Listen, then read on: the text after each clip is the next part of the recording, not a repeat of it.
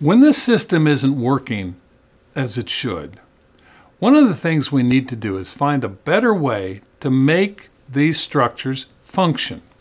And we do that with an appliance called a splint or an orthotic. The two primary appliances that we use are going to be things called muscle deprogrammers. Muscle deprogrammers are great. They're flat appliances, but you have to have healthy joints and healthy muscles to use those.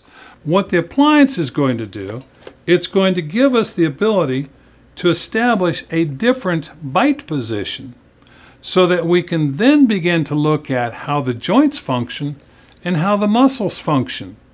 Because if the bite is incorrect, what we want to do is we want to find a more stable position where the joints and muscles are able to function optimally.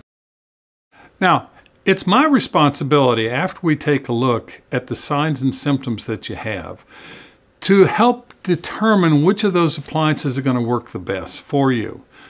If the joint's dislocated, then you have to provide enough guidance so that the jaw will go only where it needs to go so it cannot go back into a position that's going to cause damage to the joints.